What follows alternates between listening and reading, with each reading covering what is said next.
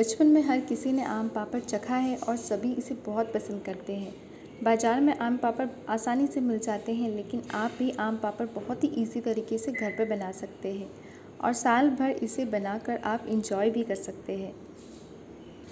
ये बच्चों से लेकर बड़ों तक सबकी बहुत ही फेवरेट होती हैं तो आज की वीडियो में मैं आपके साथ शेयर करने वाली हूँ आम पापड़ की रेसिपी तो वैसे तो आम पापड़ बनाने के दो तीन तरीके होते हैं और हर कोई अलग अलग तरीके से अपने घर पर ट्रेडिशनली आम पापड़ की रेसिपी बनाता है और इसे साल भर के लिए स्टोर किया जाता है।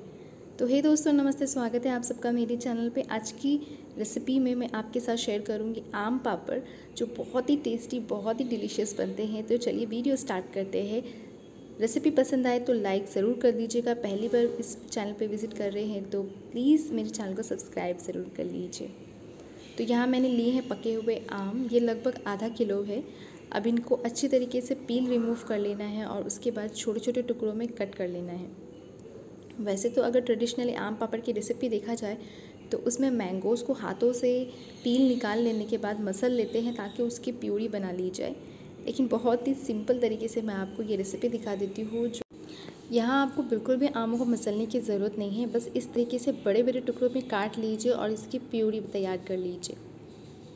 प्यूरी बनाना बहुत आसान है। एक ब्लेंडर का जार लीजिए और उसमें इन आमों के पीसेस को ऐड कर लीजिए और ऐड करने के बाद कोई भी पानी इसमें ऐड नहीं करना है। बस इसे ब्लेंड करना है दो तीन मिनट के लिए और आप देखेंगे एक फ़ाइन सी प्यूरी बनके तैयार हो गई है। तो बस अब एक पैन लेंगे या कढ़ाई लेंगे और उसमें इसे ट्रांसफ़र कर लेंगे।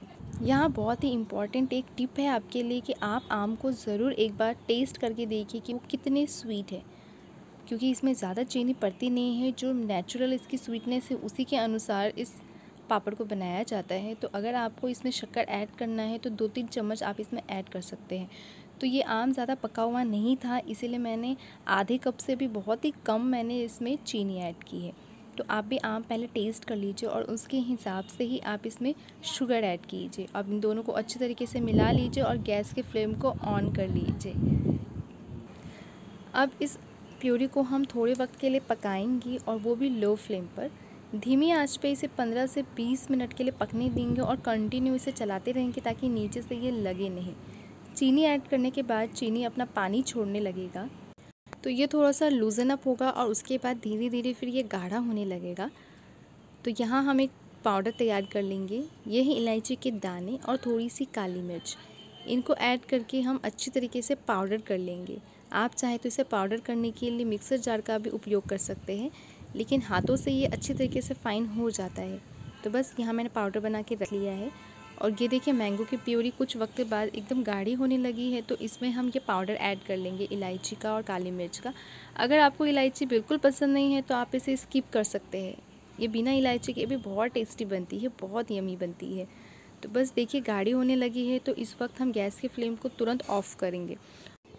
यहाँ आप दो तीन प्लेट्स लीजिए या थालियाँ ले लीजिए और थालियों में थोड़ी सी तेल या फिर घी ऐड कीजिए और हाथों की मदद से इसे अच्छी तरीके से ग्रीस कर लीजिए। ये प्रोसेस आप पहले से करके रखिए ताकि जो प्यूरी है वो गैस के ऑफ़ होने के तुरंत बाद ही इस पर डाल के स्प्रेड की जा सके।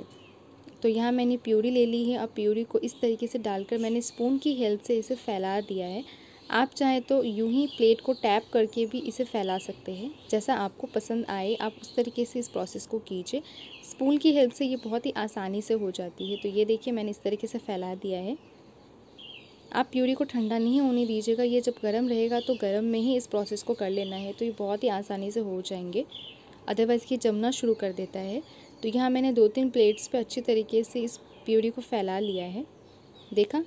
अब इसे हम रूम टेम्परेचर पे आने देंगे, थोड़ा ठंडा हो जाएगा, उसके बाद हम इसे धूप लगाएँगे। आप इस आम पापड़ को धूप में सुखाएँगे तो याद रखिए इसके ऊपर कुछ कॉटन का क्लॉथ जो है वो स्प्रेड कर दीजिए अदरवाइज़ डस्ट गिरने के चांसेस होंगे।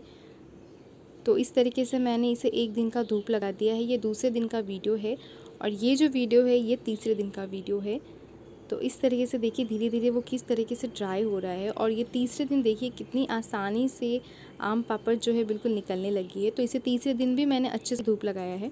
चौथे दिन भी मैंने इसे बहुत ही अच्छे से धूप लगाया है और चौथे दिन मैं इसे काट के आपको दिखा रही हूँ कितना परफेक्ट बना है ये आम का पापड़। तो आप इसे नाइफ़ की मदद से चारों तरफ़ से थोड़ा सा स्क्रैच कर लीजिए। उसके बाद हल्के हाथों से बहुत ही जेंटली इसे निकालना शुरू कर दीजिए। इस आम पापड़ को आप चार से पाँच दिन अच्छी तरीके से धूप लगाइए। धूप लगाने से ये बहुत ही अच्छी तरीके से बनता है। अब इन सबको निकाल कर आप स्टोर कर सकते हैं। स्टोर कर कर आप इसे साल भर के लिए रख सकते हैं। ये बहुत ही टेस्टी, बहुत ही टेम्पटिंग लगता है। तो आई होप आज का वीडियो आप सबको बहुत अच्छा लगा है, बहुत पसंद आई है। पसंद आई है तो वीडियो को लाइक ज़रूर कर दीजिए। पहली बार विज़िट कर रहे हैं इस चैनल पे तो प्लीज़ मेरे चैनल को सब्सक्राइब ज़रूर कर लीजिए। तो चलिए मिलेंगे अगली वीडियो पे, तब तक के लिए बाय बाय टेक केयर